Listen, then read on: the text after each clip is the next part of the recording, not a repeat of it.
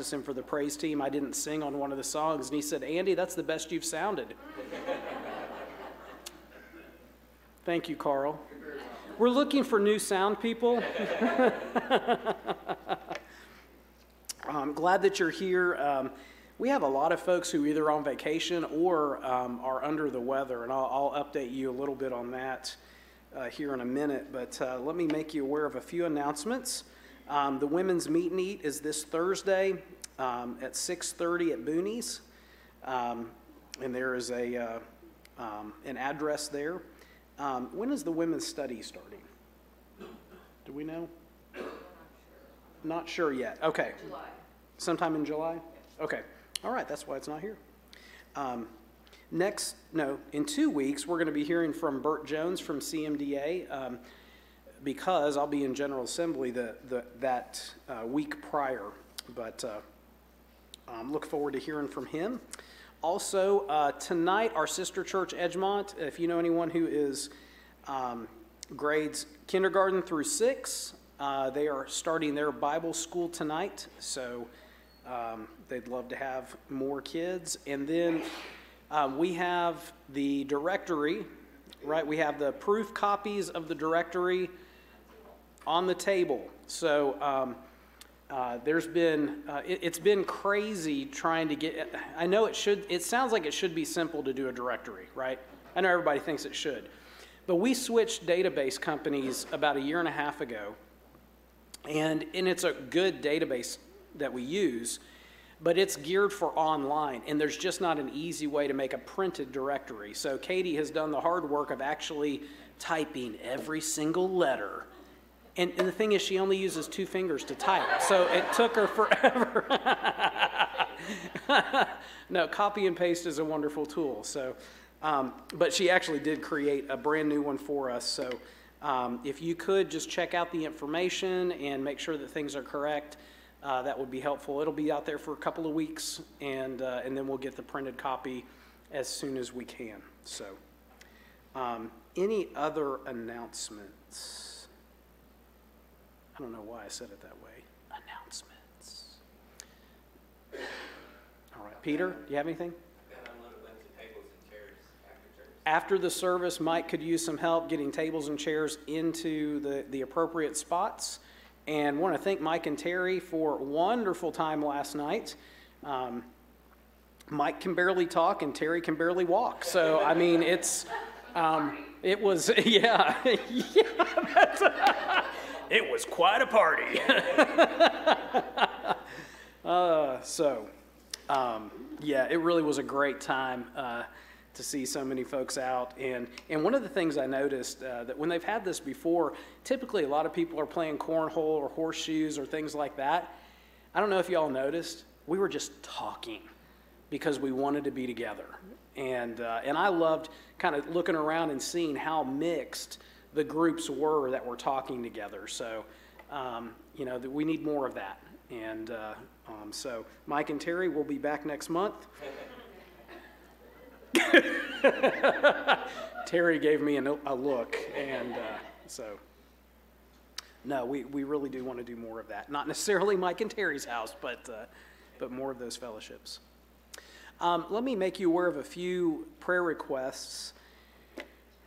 I'm going to say this all the time. It is allergies, not COVID. Excuse me. But with uh, COVID in mind, Kevin Erickson has COVID and so does Wiley Webb. So we want to pray for both of them. Um, John Huron, uh, many of you know, he's in ICU. He uh, had some internal bleeding. They, they figured out what was causing that. That has stopped, but he has a bowel obstruction now, and so they had to put an NG tube in. Um, so um, just pray. He's, he's, um, it's just really difficult for him to be there. Uh, you know, he's feeling better overall, but it's you know just difficult. Bless you. Um, Casey has a sneeze, so we're going to pray for her. um, Arlene Sebastian had knee replacement this week, and she seems to be doing well. So continue to pray for her and her recovery. Um, and uh, um, uh, a, a cousin of Charlie Cox's. Uh, her name is Charlotte Tucker. Um, she has a couple of different issues. Uh, one of the issues is uh, her sugar levels have, because of some medication changes and, and that, are um, incredibly high. And she also has a bowel obstruction. And she's, you said she's on a ventilator as well? And so we want to pray for her. Her name's Charlotte Tucker. Um, Pray for General Assembly as well. We'll be meeting, uh, begin, the meetings begin a week from tomorrow. So a lot of uh, elders will be traveling down, um, some with their families, and uh, uh, we have a lot of different meetings and deliberations. So just pray for wisdom for us as we do that. Um, There was a, a prayer request that slipped my mind. Um, Any other prayer requests that you all have? Yes, Linda. I spoke with my cousin this past week, they, her husband two weeks ago. Oh, no. She swung by her mother's house and found her trapped under the table where she's fallen, so she's in, you know, in that facility. Her daughter hasn't found out for sure she's got cancer, it's probably not. And this is the Hall family? The Hall family, they're just really ill. Okay. The Hall family, um, her cousin's husband has been given two weeks, is that what you said, to live? And, uh, um, and they just have a lot of other issues that are going on, so we want to pray for them. Continue to pray for them. Yes, Elizabeth? My great niece, uh, Savannah Bailey, they found out on Friday the cancer has spread. It's at least in her lungs. Oh, no. So, uh, she's nineteen. They'll be sending her to either Vanderbilt or to St. Jude's. Okay, so uh, Savannah Bailey, Elizabeth, Phil- I just about said Elizabeth Har- Elizabeth Phillips, but that would be right too, right? Elizabeth Phillips' great niece. Um, she's 19. Um, she has uh, cancer in her, it was in her knee, right? But it's spread.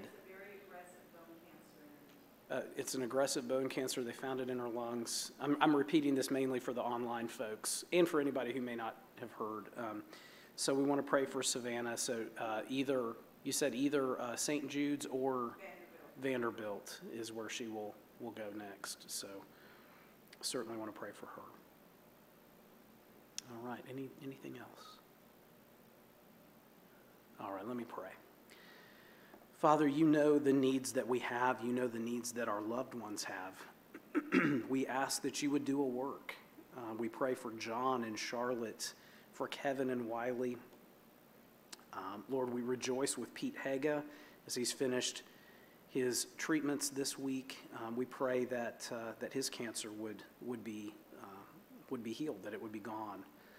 Um, Lord, we pray for Savannah, um, such a young age and, and, and such a, uh, a, a huge diagnosis. We just pray for her and ask that you would, that you would let her know your nearness. Uh, we pray for the Hall family with all the issues that are going on, that you would bring peace and comfort to them. Uh, Lord, we pray for continued healing for Arlene uh, with her knee replacement and um, that you would just give clarity for her in her upcoming eye appointments. Um, as, uh, as it, there's a chance of cancer in her eye. Um, uh, Lord, I pray for Pam Wise uh, she will be having surgery in a week and a half. We, we pray that you would um, allow the doctors to use their skill and precision to remove the tumor from her pituitary gland. As it's a delicate procedure, we just pray that it would be successful. And uh, we thank you that normally there's a 99% success rate. So uh, we just pray for her and pray for Ed uh, as they will travel down there uh, uh, here very soon. Um, Lord, we, we thank you that you brought us together today to worship you. I thank you that you brought us together yesterday, so many of us that were able to, to be a part of, of the picnic and just spend time together, getting to know one another. And um, Lord, I pray that you would continue to do that, to grow us as your people. In Jesus' name, amen. Well, I'm going to invite you to stand, if you're able, for the call to worship. Even if you're at home, I'll invite you to stand if you're able. Um, and I know that there are several that are worshiping at home today. Oh, come, let us worship and bow down. Let us kneel before the Lord our God. I'm sorry, before the Lord our Maker. sorry. For he is our God, and we are the people of his pasture, and the sheep of his hand. Let's sing together, O worship the King.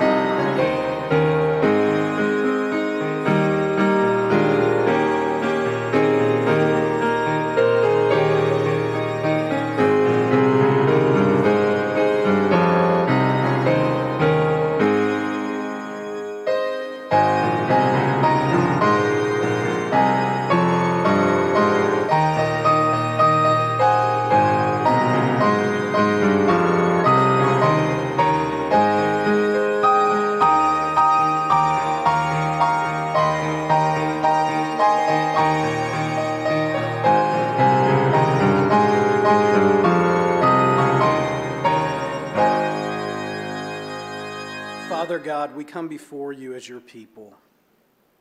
You, our Maker, our Redeemer, our Defender, our friend. You, holy God, who reached down to us, even though we rebelled against you. We brought death and sin into your world, but you, in your mercy and your grace, have brought life and peace with you by offering your Son in our place. We praise you, Father. Jesus Christ, God the Son, we praise you, the friend who sticks closer than a brother, the one who became our sin, even though you knew no sin, so that we might, by faith in you, become the righteousness of God. We praise you, God the Holy Spirit, for opening our eyes, giving us the sight to see Jesus for who he is uniting us to Him in all of His benefits by faith in Him, and holding us, carrying us through to completion to the day when Jesus returns. Father, Son, and Holy Spirit, even now we ask that you would meet us in this place and work in us what is pleasing to you. In Jesus' name, amen. You may be seated.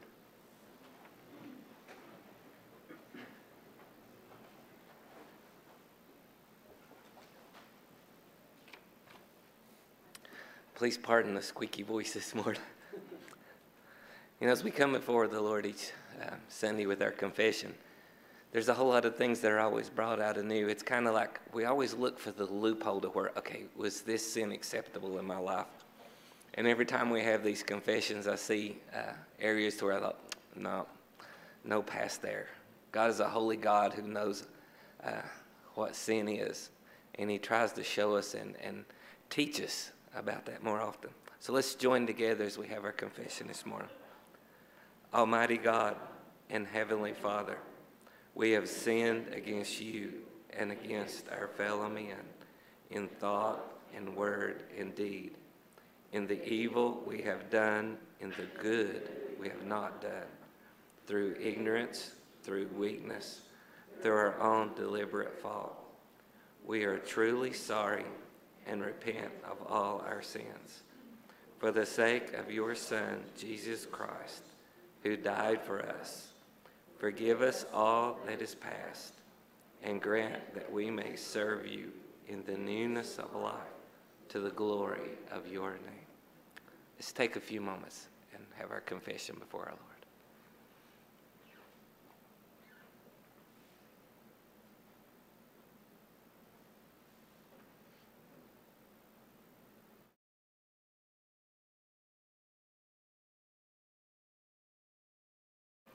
Assurance of forgiveness is found in Ephesians 1:17.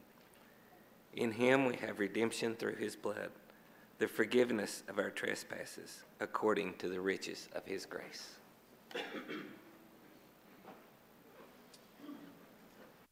As the praise, whoa, that's loud. Uh, it's loud in our monitor, at least. Uh, as the praise team comes forward, please stand and uh, let's sing about the love of God for us in Jesus Christ.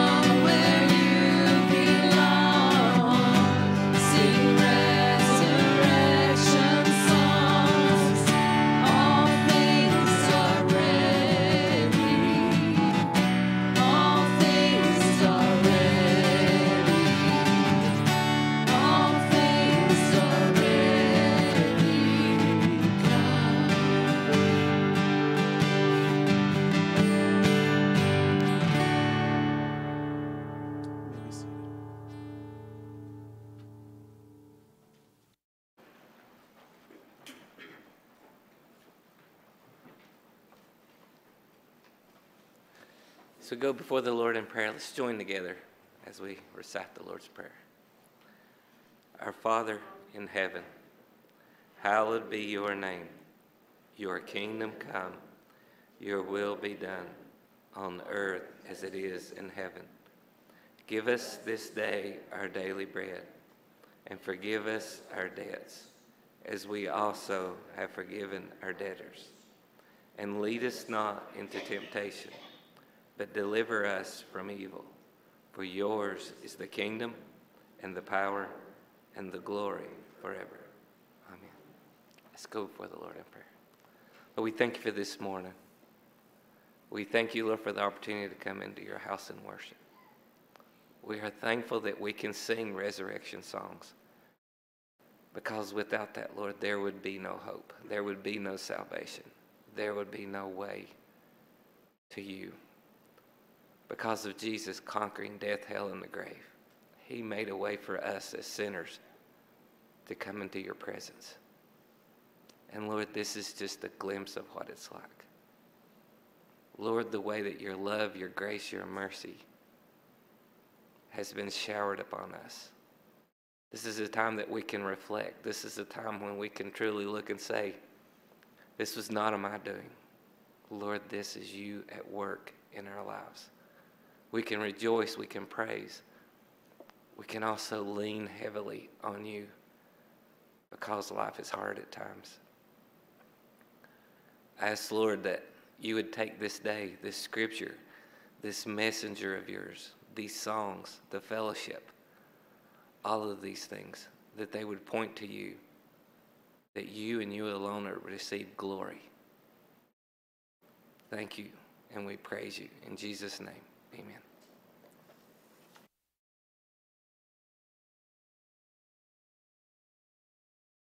I got out of the habit of doing this, and, and this is one of the things that I've always enjoyed, is uh, we have an opportunity to pray.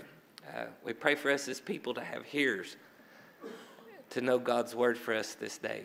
And we also to pray for Andy uh, during pollen year or whatever, that, that, that, not only his voice would be clear, but the, the message that he is prepared, that the Lord has laid on his heart, that it would be able to be shared with us. Matt, would you pray for us as a people? And Roy, would you pray for Andy, please? Father God, I thank you for this opportunity that we have to come into your house and gather together to worship you. Oftentimes we think of worship as, as singing as we just did. That's certainly true, but worship is this entire service and, and worship extends outside of these doors. I pray that as we move into this time of hearing your word, that you will keep us keep our focus on you. I pray that we won't be distracted by what we're doing outside of church, uh, what we're having for lunch, a text that comes up on our phones, but we will look at you and we will see you and we will hear you and how you work in our lives. In your name, amen.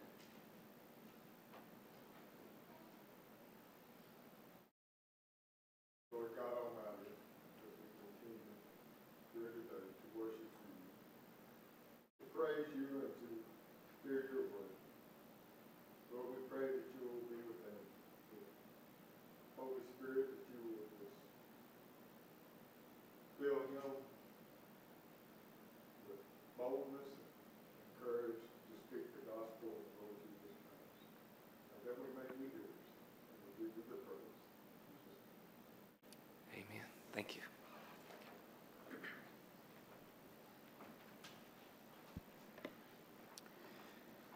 Turn to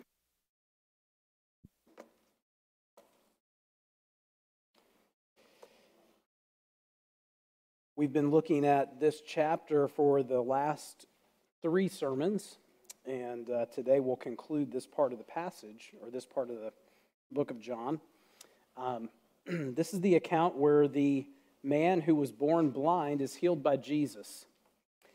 And uh, what we have been learning is that the account is about more than physical blindness, it's really about spiritual blindness. Last time, uh, when we looked at the passage, we were looking at the Pharisees in particular and the evidences that we can even see in our own lives of spiritual blindness. The Pharisees who were caught up with rigid traditions about the Sabbath dominated how they saw Jesus. And we talked about how we can get caught up into rigid traditions as well to keep us from seeing Jesus. But they refused to see things any other way, and they remained in their spiritual blindness. But not the healed man. And that's who we're going to focus on today. I'd invite you to stand if you're able. I'm going to begin reading at verse 1. We're going to read the first 17 verses, and then we're going to take the most of the rest of the passage bit by bit. Hear the word of the Lord. As Jesus passed by, he saw a man blind from birth. And his disciples asked him, Rabbi, who sinned, this man or his parents, that he has been born blind? Jesus answered, It was not that this man sinned or his parents, but that the works of God might be displayed in him. We must work the works of him who sent me while it is day. Night is coming when no one can work. As long as I am in the world, I am the light of the world. Having said these things, he spit on the ground and made mud with the saliva. Then he anointed the man's eyes with mud and said to him, Go wash in the pool of Siloam, which means sent. So he went and washed and came back seeing. The neighbors and those who had seen him before as a beggar were saying, Is, not, is this not the man who used to sit and beg? Some said it is he, others said no, but he is like him. He kept saying, I am the man. So they said to him, Then how are your how were your eyes opened? He answered, The man called Jesus made mud and anointed my eyes, and said to me, Go to Siloam and wash. So I went and washed and received my sight. They said to him, Where is he? He said, I do not know. They brought him to the Pharisees. They brought to the Pharisees, excuse me, the man who had formerly been blind. Now it was a Sabbath day when Jesus made the mud and opened his eyes. So the Pharisees again asked him how he'd received his sight, and he said to them, He put mud on my eyes, and I washed, and I see. So the Pharisees said, This man is not from God, for he does not keep the Sabbath. But others said, How can a man who is a sinner do such signs? And there was a division among them. So they said again to the blind man, Who do you, What do you say about him since he opened your eyes? He said, He is a prophet. Father, we pray that you would take this chapter of your holy word and make it sweeter than the drippings of the honeycomb. May the words of my mouth and the meditations of all of our hearts be found pleasing and acceptable to you, our rock and our redeemer. Amen. You may be seated. During the Advent season, um, I, I mentioned during one of the sermons the the uh, I can't remember the year. I should have written it down. Uh, but do you remember the miners in Chile that were trapped for 69 days in the mine? 17 days without any communication when they first were trapped. Nobody knew if they were alive or not. And they all were rescued. We talked about the, the leader of the group that was nicknamed Super Mario. What we didn't talk about is that in order to help them adjust to life back in the light, the company Oakley that makes sunglasses contacted the Chilean government and um, was commissioned to make specialty sunglasses that would wrap around the faces of these miners and would filter out 100% of all the different kinds of UV light because they were afraid that by suddenly being in the sunlight that they would have eye damage, maybe even blindness. And so these glasses would allow them to see colors and allow them to begin to adjust to this kind of newfound eyesight, if you will. Um, a few years ago, uh, I think it's been three or four years ago now, um, I was privileged to be able to have LASIK surgery. And the reason I say privileged is there was a doctor in Ohio that um, part of his practice, he does probably hundreds of LASIK procedures in the course of a year. Uh, but he has a, a, program for missionaries and pastors that if you get on the program, um, they'll do it for free. And so um, after I had the procedure done, and, and basically, I mean, with LASIK, you're, you're lasering the inside of your eyes. You're, you're kind of creating trauma in your eyes. But after the procedure, they had me sit up and they had me look at a clock across the wall and tell me what time it, and tell them what time it was. And when I looked at the clock, uh, what I noticed was this. Before I laid on the table, I had really bad astigmatism and everything's blurry. If you have astigmatism, you know what I mean. You look, I mean, I didn't like to go swimming as a kid because I couldn't see anything. In fact, even as an adult, I would have an extra pair of glasses to wear when I was swimming just so I could see. Nothing was blurry anymore, but it was cloudy because there was trauma on my eyes. it just pointed lasers and cut into my eye. This is what we would expect. But when Jesus healed this man born blind, no glasses, no cloudy vision, his miracle was complete. It was total. And some of us want Jesus to heal us in similar ways from whatever it is we're dealing with. We want a complete and a total healing, and he's not promised that he's going to do that. But what we see in this miracle, because he said it's pointing to the work of God, we see that Jesus is the only one who can heal us from our spiritual blindness and give us spiritual sight.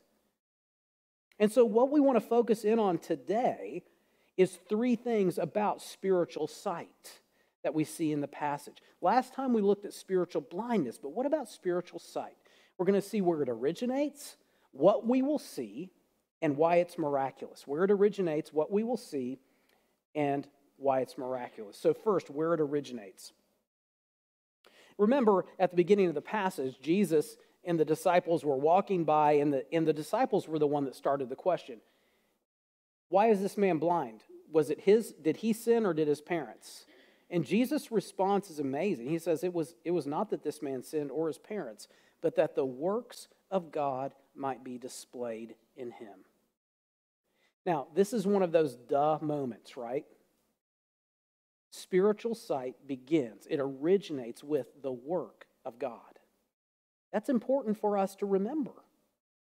It's not something that we could conjure up ourselves. I mean, think about it. Could the man born blind heal himself?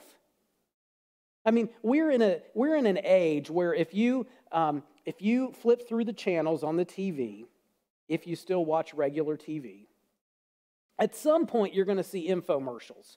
And they make all kinds of promises, right? But nobody is able to heal someone completely who's been born blind.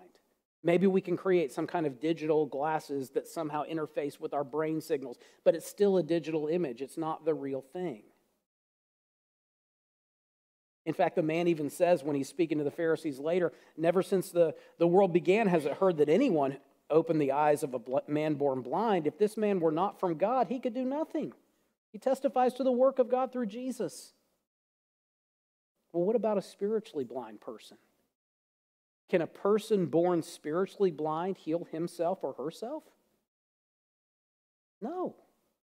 It's only by God's power through Jesus Christ. That's the work of God that we need in order to move from spiritual blindness to have spiritual sight. We can't do it on our own. This physical miracle is pointing to a spiritual reality. That there's nothing that we can do to give ourselves spiritual sight. It originates in the work of God. But what will we see?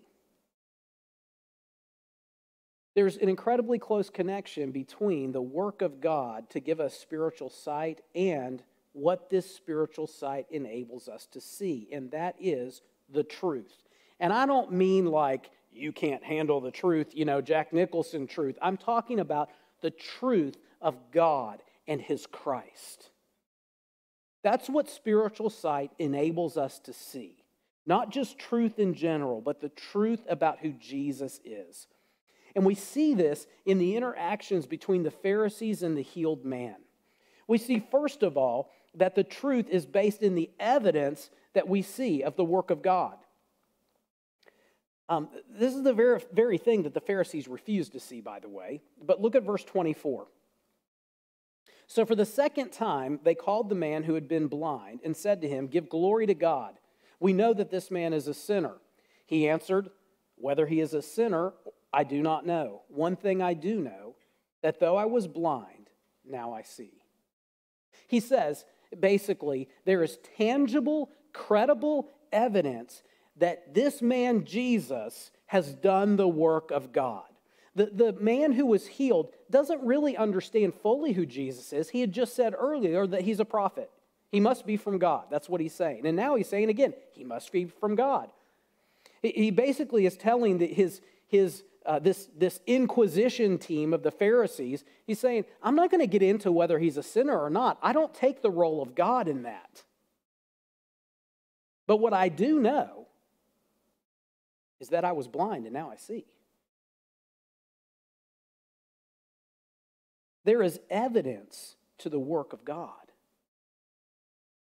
And this is the truth that spiritual sight enables us to see. I mean, how many of us can give a testimony of God's work in our lives? And we can say, uh, I know that spiritually speaking, I was blind, but now I see Jesus. Oh, but Jesus was just a good moral teacher. He didn't come. I actually had a friend on Facebook post his, his views of a, of a church that he goes to and said, Well, Jesus didn't really come to, to be the atonement, atoning sacrifice for sin. He came to kind of resonate with us, to, to um, you know, he was identifying with us. Um, I would say, well, yeah, that's true.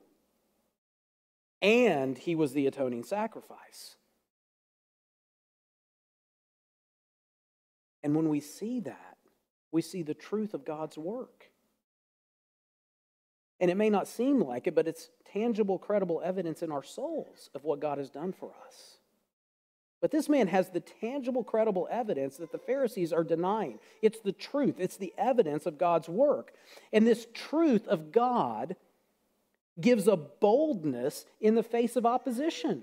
We see it right here. I mean, this account is amazing to me because this formerly blind man who was a beggar, he didn't have formal instruction. And yet he's taking the religious leaders to task with what might be called common sense, but we would say basic spiritual sight. He sees that God is at work. And so we see him uh, have this boldness that the truth of God does generate within us in the face of opposition. So look at verse 26. They, the Pharisees, said to him, Well, what did he do to you? How did he open your eyes? He answered them, I've told you already, and you would not listen. Why do you want to hear it again? Do you also want to become his disciples? I think this is hilarious. But remember, here was the deal. The Pharisees were saying, We want to know how he violated the Sabbath. They didn't ask if he healed, but rather, what, how did he do it? That's what they wanted to know. How did he open your eyes? Well, remember, he made mud. Remember kneading mud? That was we talked about that last time. That was considered a violation of the Sabbath as well as healing and things like that, not by God's law, but by the traditions of the Pharisees and the rabbis. And so this man is calling their bluff. Do you want to become his disciples too? well, I think I created a new word called hankered up the last time. So the Pharisees get all hankered up. I don't even know what that means. If it means something bad, let me know. I don't know.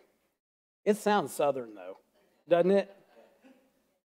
And I'm not even from the South, so it's a Yankee trying to sound southern. That's what it is. Verse 28 And they reviled him, saying, You are his disciple, but we are disciples of Moses. We know that God has spoken to Moses, but as for this man, we do not know where he comes from.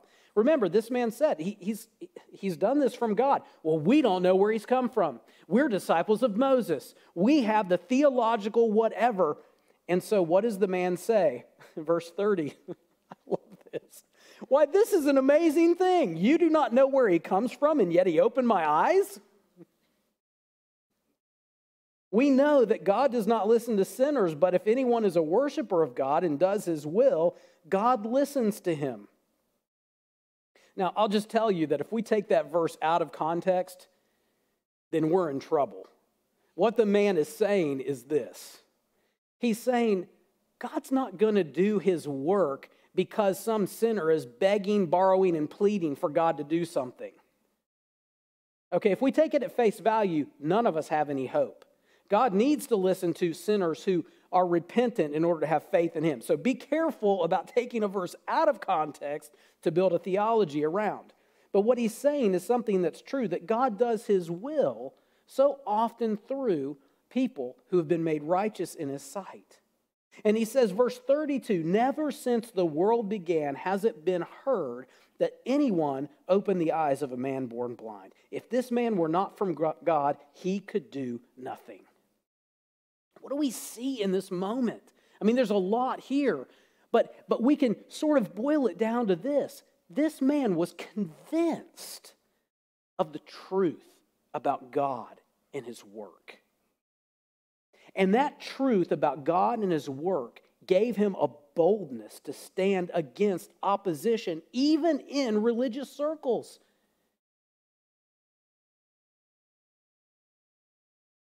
What courage he displayed. And this was a man who just moments earlier was begging,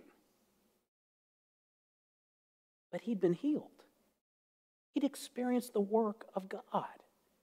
He's seeing, beginning to see more and more the truth of God, and even, uh, even more so the truth of who Jesus is. But we also see something very sad in this passage, but it's true.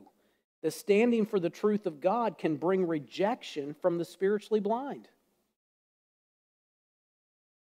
We, we shouldn't think that just because we're standing with boldness against those who are opposing the things of God that everything's going to be great. I mean, this is not the Hallmark channel. Verse 34 The Pharisees answered him, You were born in utter sin, and would you teach us? And they cast him out. They excommunicated him. What's interesting, and Craig Keener points this out, D.A. Carson did too, is that remember how the passage started? The disciples said, Who sinned, this man or his parents? Jesus said, Neither. It's, this, is, this happened so that the works of God can be displayed. The Pharisees believed that this man was born in utter sin. They didn't get it right. Now, theologically, we can say, was he born in sin? Yes, of course, we're all born in sin. But that's not the point of what they're saying. They're casting him out because they don't have an answer. It's not out of the question for us to expect that those who stand against the truth of God, who are spiritually blind, will reject us. It doesn't happen every time. There are times where God will use that boldness in the face of opposition to turn hearts toward Himself. And there are times where we will be rejected. Spiritual sight originates with the work of God and it enables us to see the truth of God. So let's talk about the third point why it's miraculous. Look at verse 35. Jesus heard that they had cast him out. And having found him, he said, Do you believe in the Son of Man? He answered, And who is he, sir, that I may believe in him? Jesus said to him, You have seen him, and it is he who is speaking to you. He said, Lord, I believe. And he worshiped him. I'm going to stop there. We have no reason to think that this man knew who Jesus was because he hadn't seen him, but he had heard his voice. And so Jesus is asking him, Do you believe in the Son of Man? This is a, a phrase that's used about the Christ in the Old Testament. It would have been something that he would have known. He's talking about the Messiah, he's talking about the Christ, and he says, Do you believe in him? He says, I'm the Christ. That's what he's saying here. The one that's speaking to you, the one that you see, I'm him. And this man, whatever measure of faith he had, he believes. Verse 39 Jesus said, For judgment I came into the world, that those who do not see may see, and those who see may become blind. Some of the Pharisees near him heard these things and said to him, Are we also blind? Jesus said to him to them, If you were blind, you would have no guilt. But now that you say, We see, your guilt remains. Why, is, why is what Jesus talking about here? Why is it miraculous? Well, first, before we get to that, let's deal with the reality, these confusing statements that Jesus is making. Doesn't make sense if we look at it. What is he talking about? He says that those who see will remain blind. He's talking about those who reject the truth of who he is. He's talking specifically about the Pharisees, and they sarcastically say, Well, are we blind? He's referring to the willful resistance. Those who look to something other than Jesus for light and life. Those who look at their spiritual ability to make themselves right before God, or at least to have his face smile upon them. He's referring to those who, who want to somehow save themselves. You know, even if, um, even if they don't really think it's Jesus, but somehow there's some kind of celestial something that's going to happen on the other side of life, and I can just trust myself and trust my instincts to get there. Um, you know, all religions are the same and all that what we show is that we're resting in our own version of truth. We're resting in our own ability to somehow cure ourselves from spiritual blindness and find spiritual sight. And we try to secure our lives around that, resting on our own strength. It's, I mean, these are like the Oakley sunglasses that we create for ourselves, but they're temporary. I mean, can you imagine if those miners are still wearing those Oakley sunglasses? My guess is their eyes would be irreparably damaged. At some point, they had to begin to wear glasses that allowed some UV lights in so that they could regain full vision.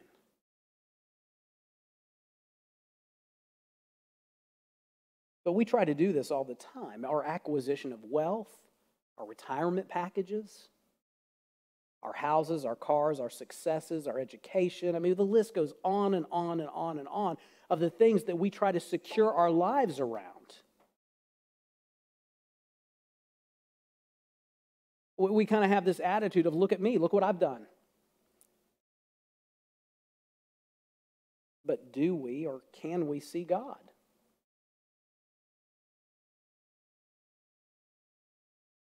There will be a day when all the angels of heaven will proclaim that, er, that there is one worthy of all the things that I've just mentioned.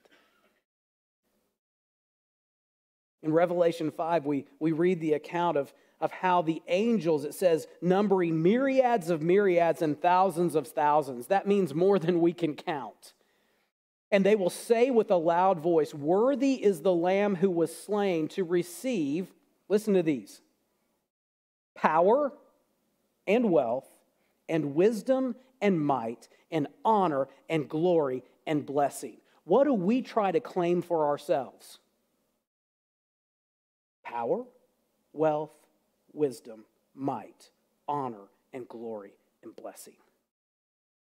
But there's only one worthy to be given these, and it's not you. It's the Lamb who was slain. Remember, Jesus said that if we trust in anything or anyone else other than Him, that we would die in our sins. Unless you believe that I am He, you will die in your sins. We can't save ourselves from spiritual blindness. We can't cure ourselves. The Pharisees were stuck. That's why they were just, they heard what Jesus was saying. They understood it, and they were mocking him. Are we blind too? You came so that those who see may become blind and the blind can see. Are we blind? Are you saying that we're blind? They, they sort of understood and kind of understood. And, but Jesus said, if you were blind, you would have no guilt. But now that you say, we see, your guilt remains. What does Jesus mean?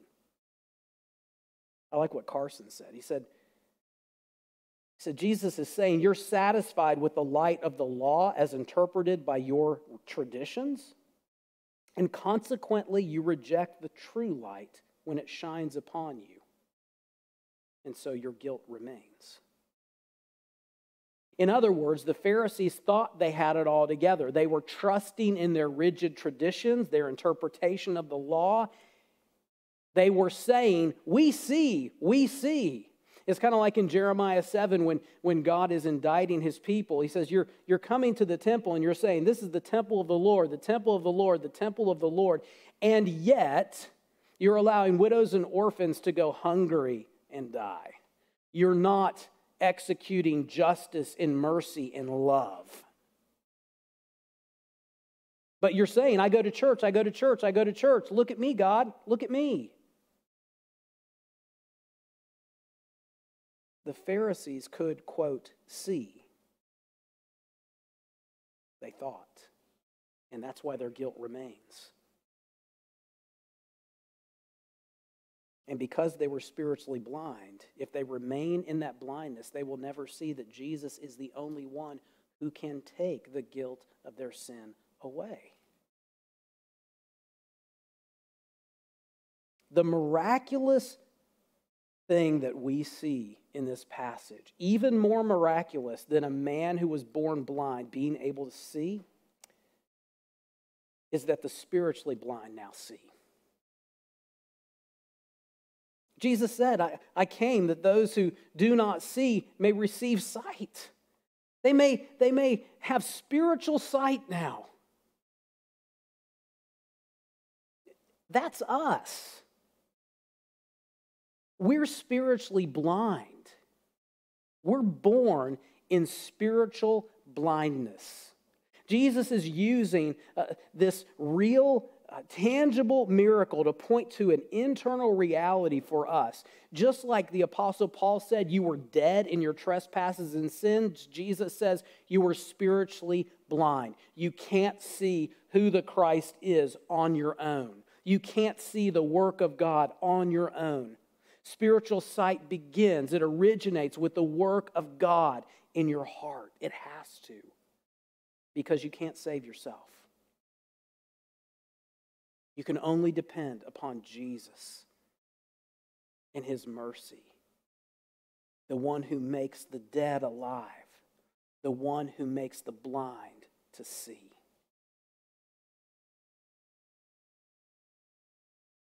Carson writes that John is again stressing the point that a certain poverty of spirit, an abasement of spiritual of, of personal pride,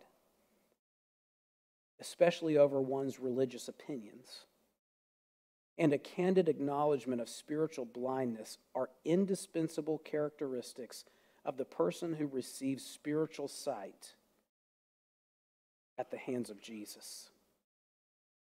You hear what he's saying? It's humility. It's a humble faith in Jesus. I have nothing to bring to you but my blindness. I need you to do the work. I mean, what a miracle it is. It's easy for us to look at a physical miracle and say, wow, I wish that could happen to me in this area. But if you have faith in Jesus, do you see that the greatest miracle there is is to be brought from spiritual death to spiritual life in Jesus Christ? to be brought from spiritual blindness to see Jesus. He's the only one who gives us the miracle that we need. We need spiritual sight, we need life in Him. Anything else that, that God blesses us with is icing on the cake. So, do you see Him? Do you believe in the Son of Man, the Savior of sinners? Do you receive and rest upon Him as He is offered for salvation? in His Word.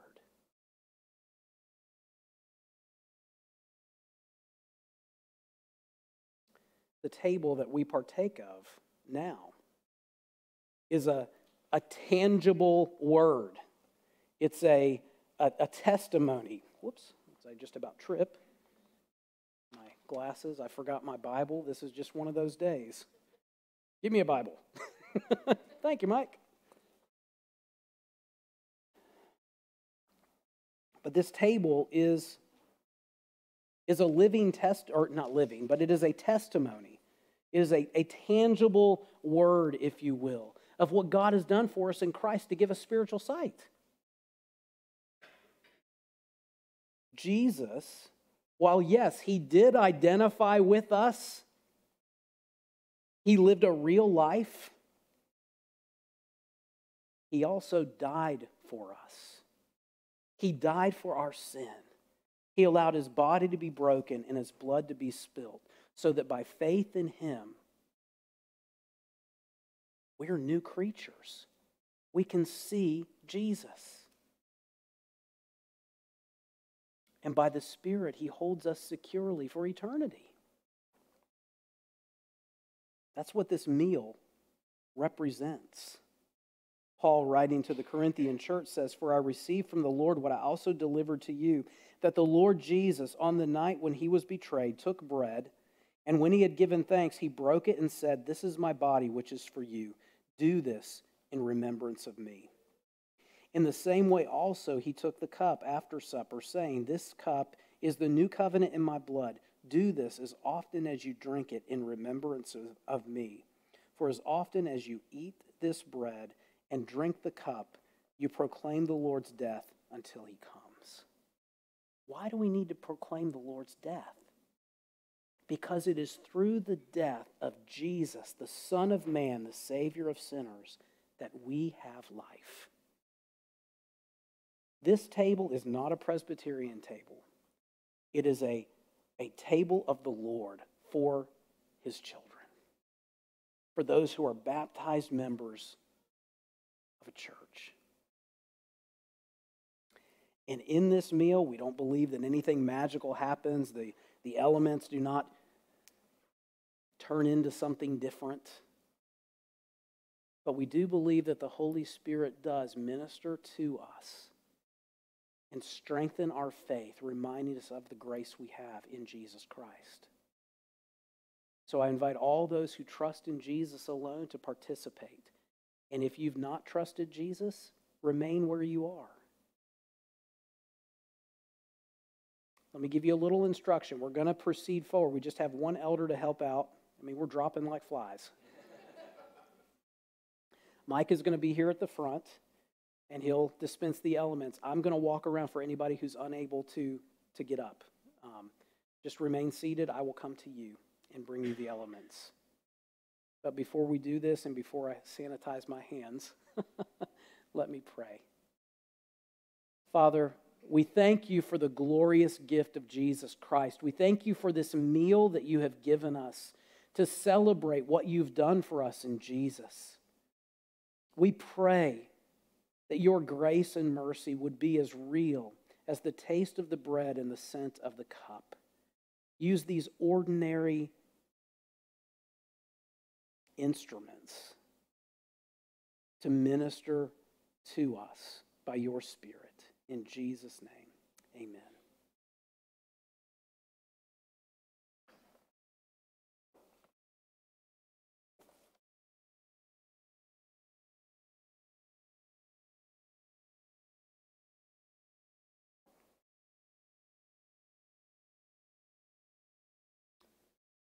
You may come forward.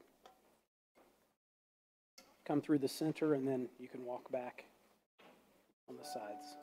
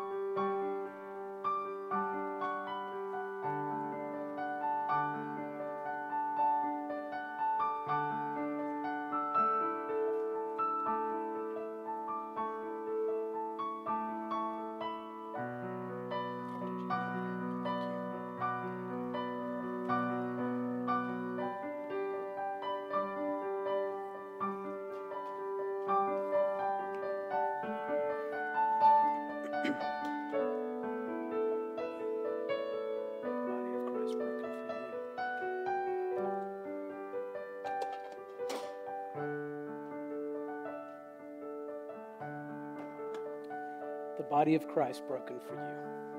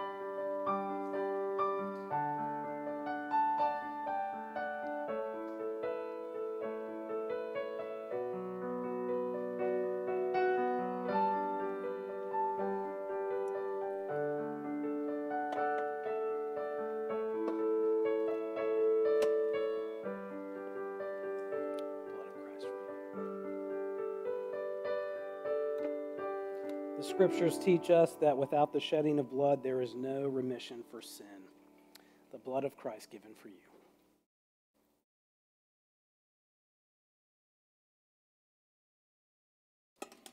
Let's stand together now and sing the doxology.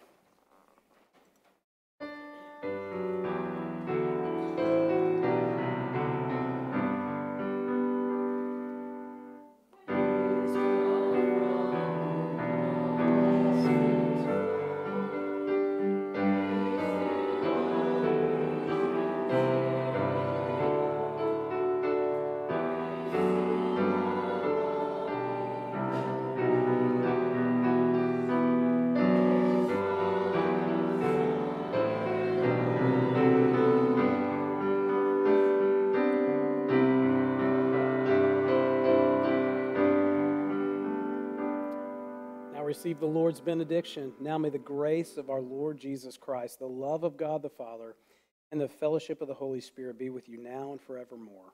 Amen. Go in his peace.